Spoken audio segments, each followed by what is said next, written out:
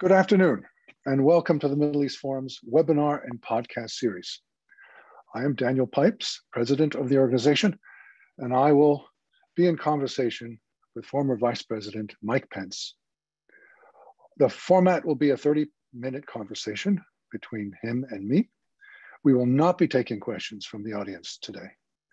Please note that this event is not for media consumption but is intended for the benefit of the Middle East Forum's audience. I therefore request members of the media to log off. Mike Pence is a lawyer, broadcaster, and politician who served as the 48th Vice President of the United States in 2017 to 21. He previously had been the governor of Indiana in 2013 to 17 and a member of the US House of Representatives in 2001 to 13.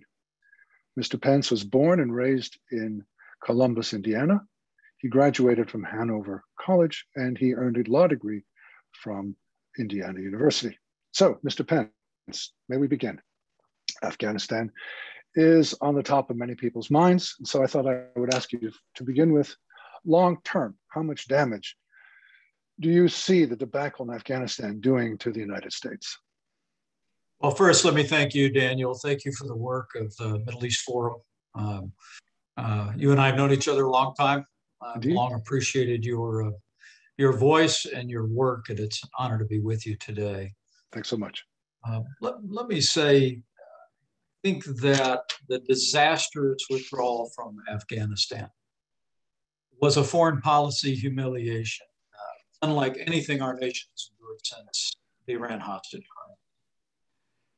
And it grieves my heart uh, when I think of the loss of 13 US service members and the evil that's rising across Afghanistan today. Uh, that I know that had our administration been reelected, it never had to happen. Uh, the deal that we struck with the Taliban in February of 2020 was predicated on, on three conditions. Number one, there would be no harm to American service members in Afghanistan as evidence that the Taliban uh, knew we meant business, uh, there wasn't a single American casualty for 18 months in Afghanistan, February 24th. Right. There also was an, an, expectation that they worked with the Afghan national government and an expectation that, uh, that they commit to not ever becoming a safe harbor for radical Islamic terrorist organizations like Al Qaeda or ISIS-K. Um, I was in the Oval Office, Daniel, when President Trump spoke to Mullah in February.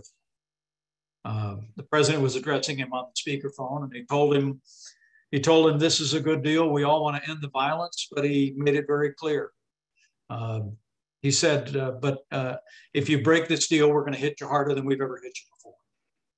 And I could tell from where I was standing the tone in the Taliban leader's voice and said he knew we meant business. Of course, uh, this was just a matter of weeks after the president had given the order to take down Qasem Soleimani. It was a matter of a few months uh, after our armed forces had taken down uh, the last inch of the ISIS caliphate in Syria and, uh, and eliminated Abu Bakr al Baghdadi without one American casualty. And so uh, I, I believe in my heart uh, that, that things would have been different. There's a saying uh, that I, I know you aspire to the principle that weakness arouses evil, uh, that peace comes through strength. Uh, and I believe that the, the, the, uh, the, the, signals of weakness uh, from this administration, not just in Afghanistan, Daniel, but when we saw thousands of rockets raining down from Gaza on Israel. And for days and days, the Biden administration remained silent about that. We see this administration go back to the table uh, and reopen negotiations over the Iran nuclear deal. I think all of those send a message uh, of, of, weakness uh, that emboldens uh, uh, our enemies in Afghanistan uh, and across the region. And the long-term impact of it, I think, I, think is going to be very significant. And the only answer to that is going to be eternal vigilance uh, we have to demand that this administration uh, uh, and our military remain vigilant against any rising threats. We absolutely have to demand that every American and every American ally is given safe passage out of Afghanistan. I must tell you, I just think it's unconscionable uh, that we withdrew from uh, from Bagram Air Force Base and withdrew most of our forces. Uh, and and when the last American soldier uh, left uh, Kabul airport, we actually left Americans and American allies behind. It's just uh, just unthinkable.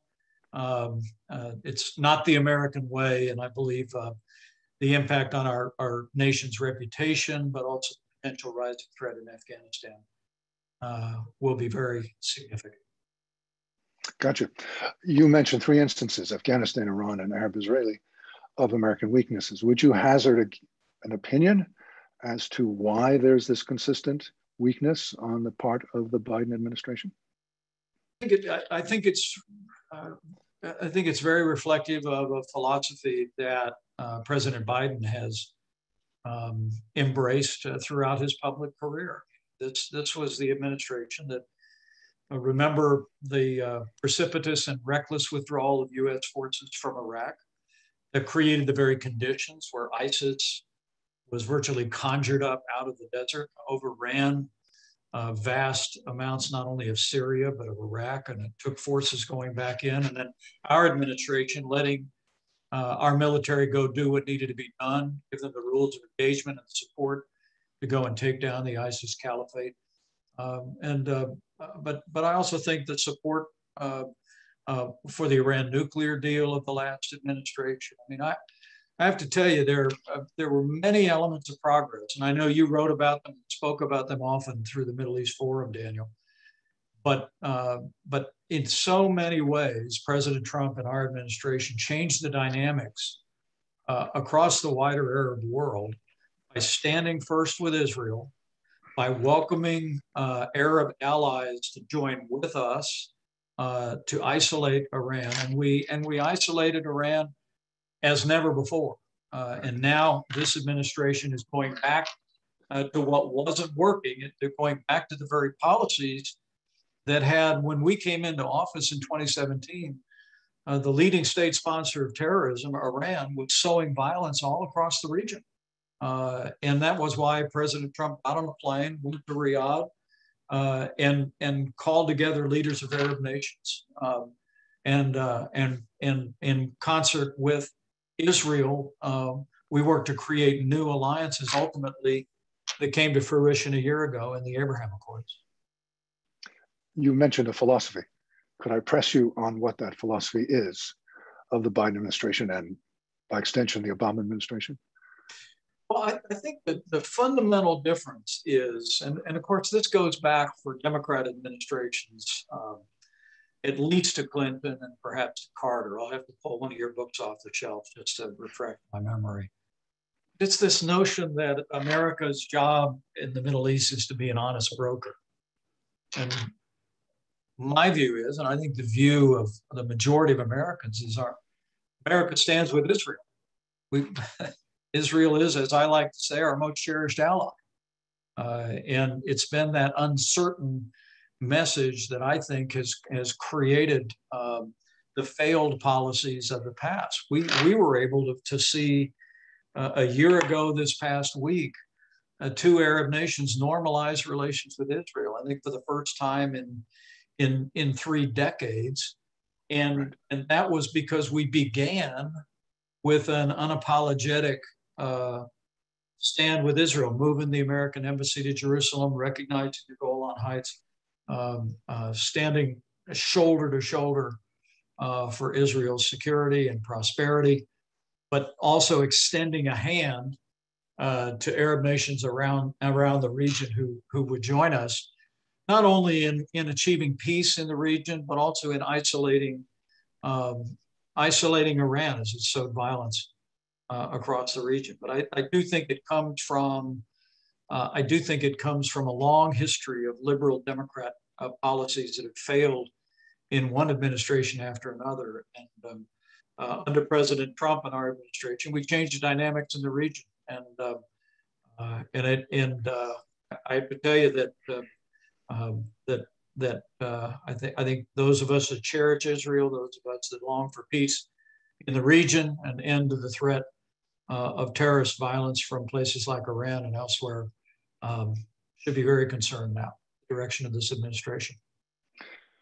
Speaking of being concerned, what about the JCPOA, the Joint, uh, blanking on it, the, the, the Iran deal?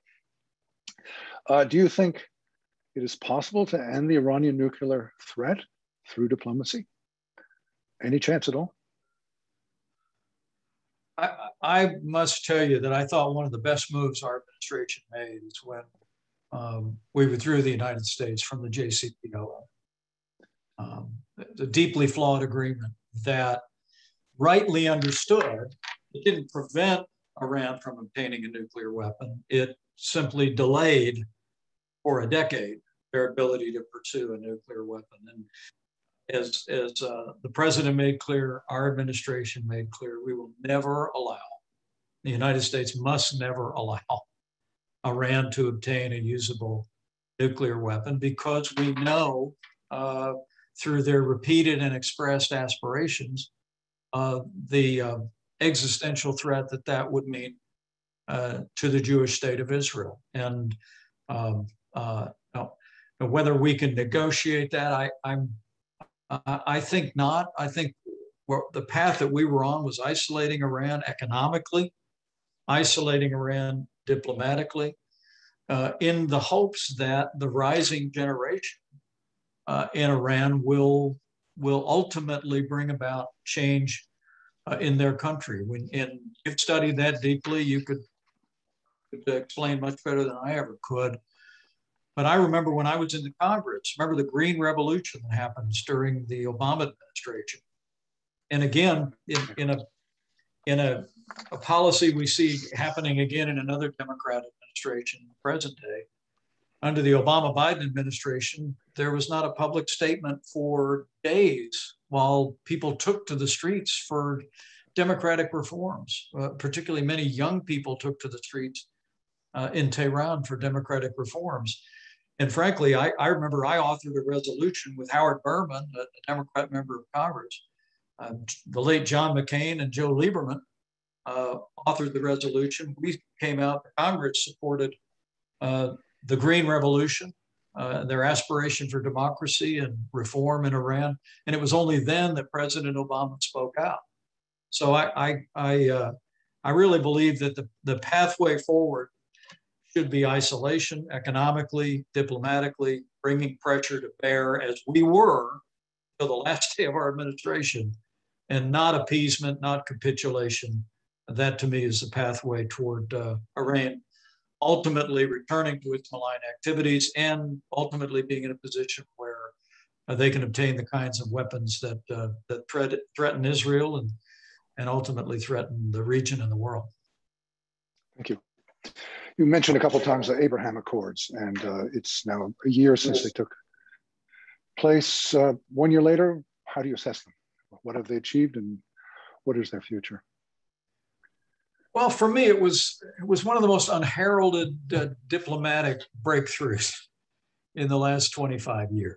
Now, of course, it we're all on the south lawn of the White House in the middle of a of a presidential campaign season.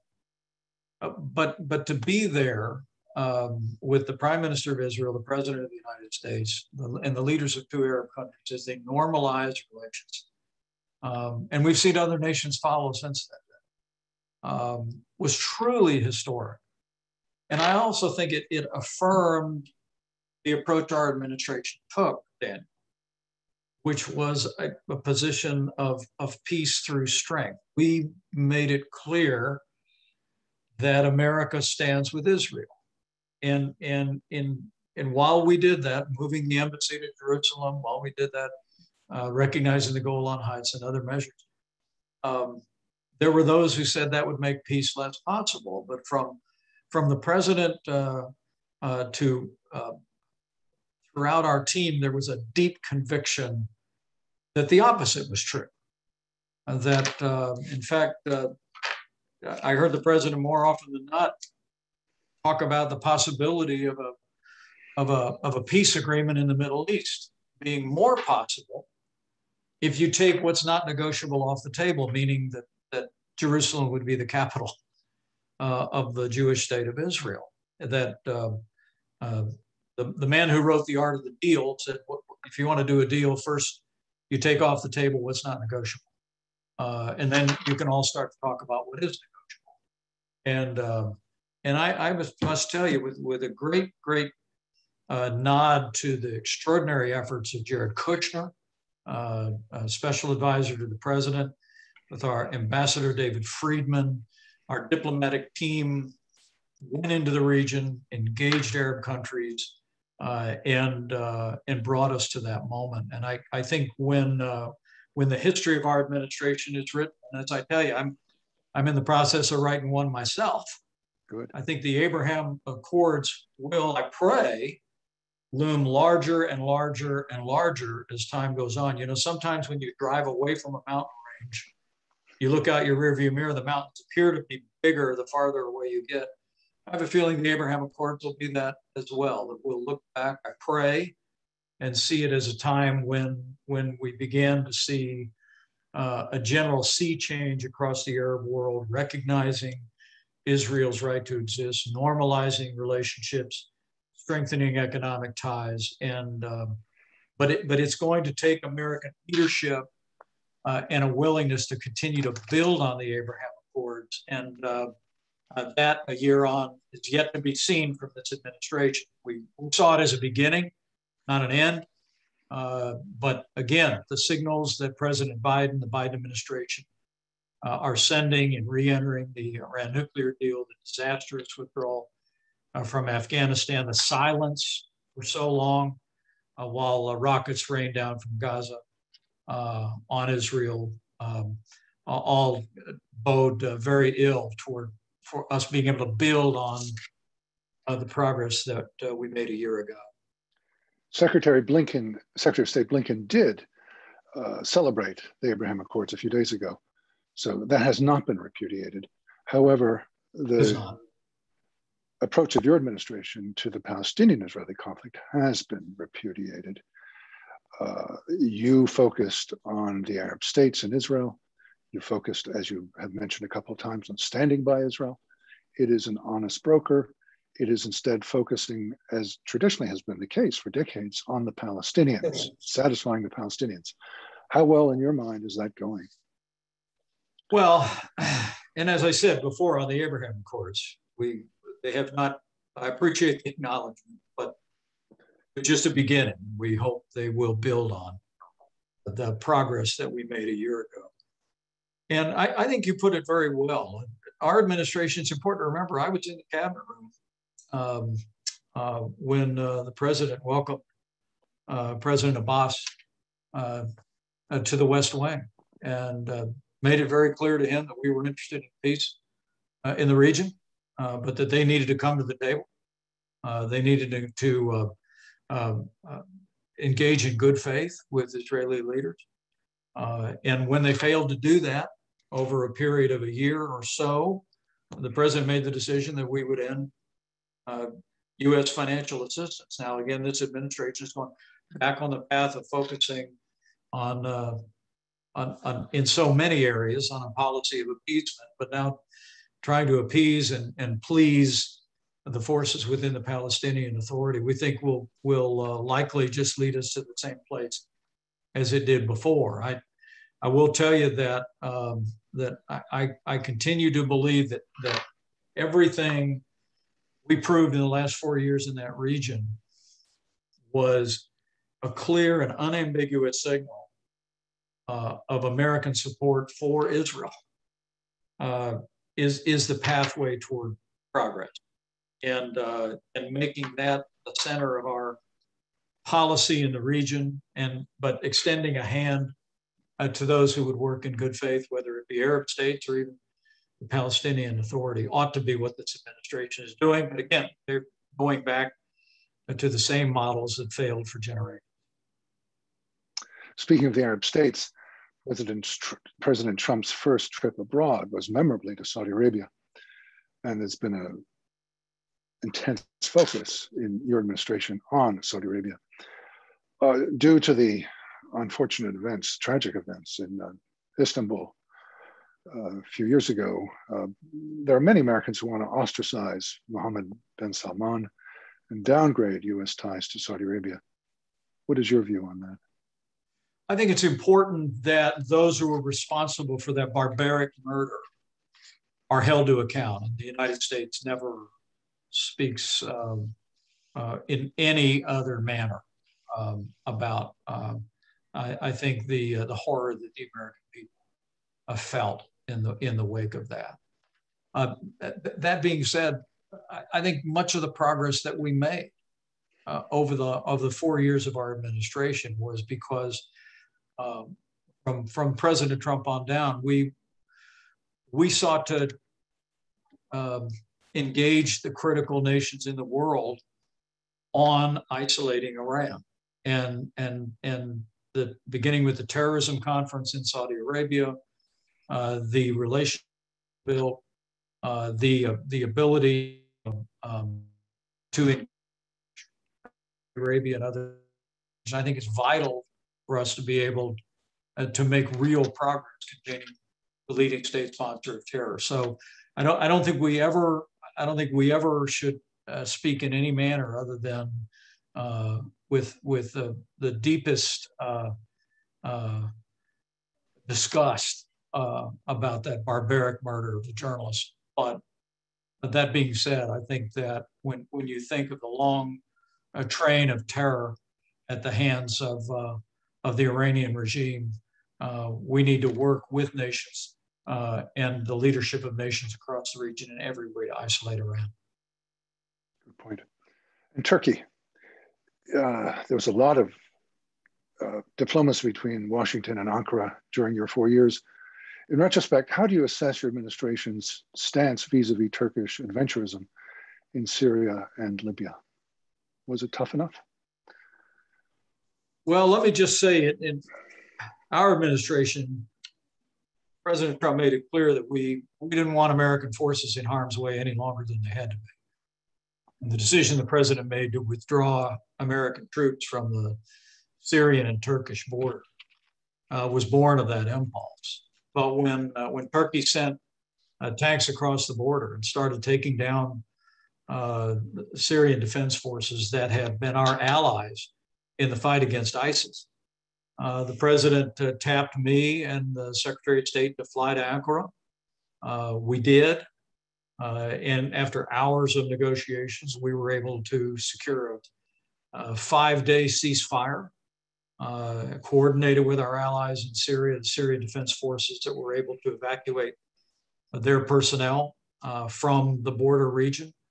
and ultimately, the president made the decision to have a uh, a limited amount of uh, forces in uh, in northern Syria to secure our interests there and, and look after the uh, the interest of our allies um, and and the Kurds that had fought uh, alongside us. And I believe that was the correct decision. Um, I, I will I will say that um, the status quo that I perceive is underway for this administration.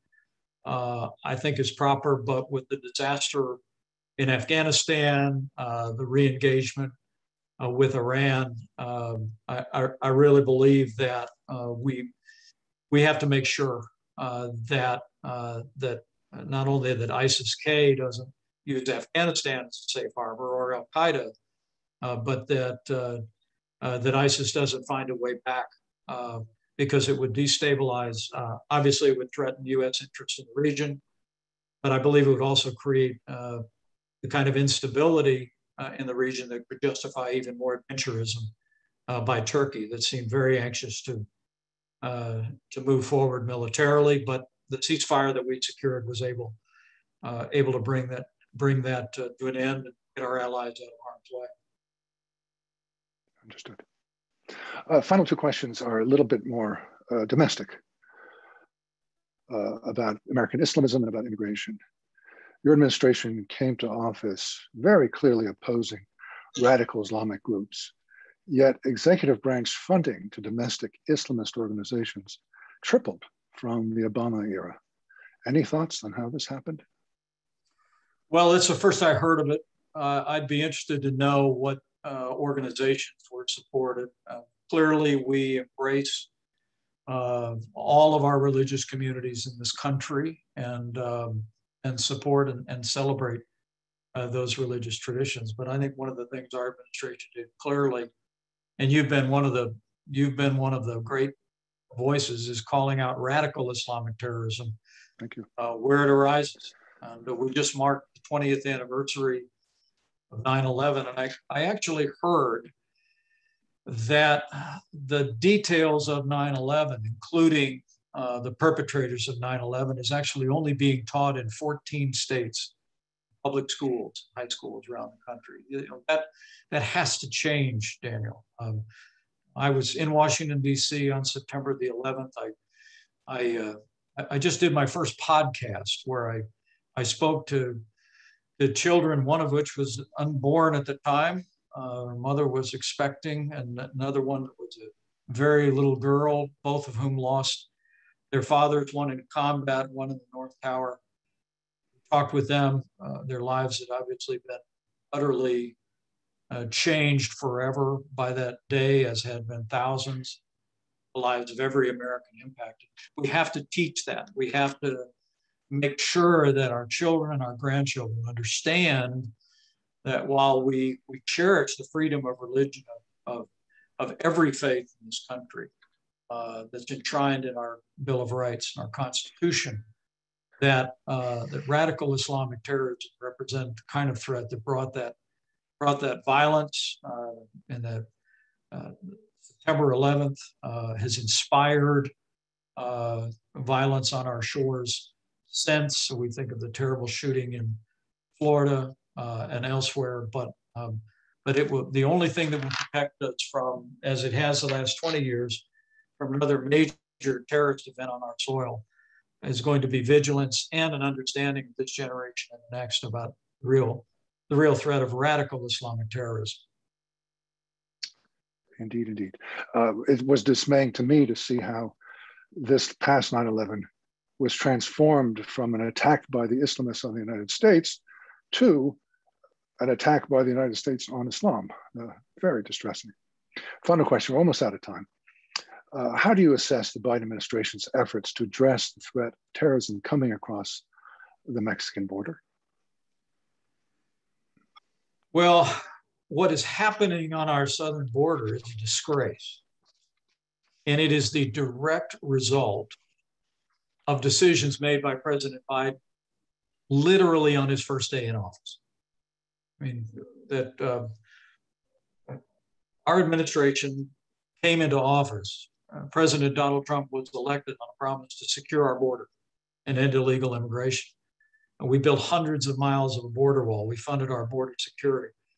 But we also negotiated an agreement that's come to be known colloquially as Remain in Mexico that, that essentially ended asylum abuse on our southern border rightly understood, uh, the crisis of illegal immigration is driven certainly by people that that sneak across the border, by dangerous people that bring drugs and contraband across the border. But a large majority of the people coming across our border, and I would say the vast majority of those that you see under the under the bridge in Texas today and elsewhere, are coming across the border prior to our change, applying for asylum. And the way it would work, Daniel, is if you applied for asylum, that uh, you would be essentially uh, stopped, processed. You'd be given a court date, maybe a year to a year and a half later, and at that point, you'd be released into the country. Um, and and less than one or two percent of the people who applied for asylum ever came to their asylum hearing. What our administration achieved was an agreement with Mexico that uh, that required Mexico to accept all of the asylum applicants back into Mexico to remain in Mexico while we were processing their asylum application.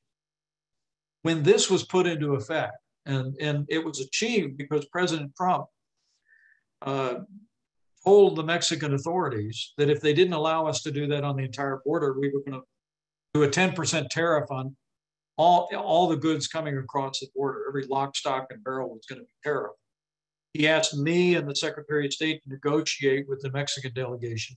In two short days, we achieved an agreement that once it went into effect, we reduced illegal immigration on our southern border and the crisis at our southern border by 90%.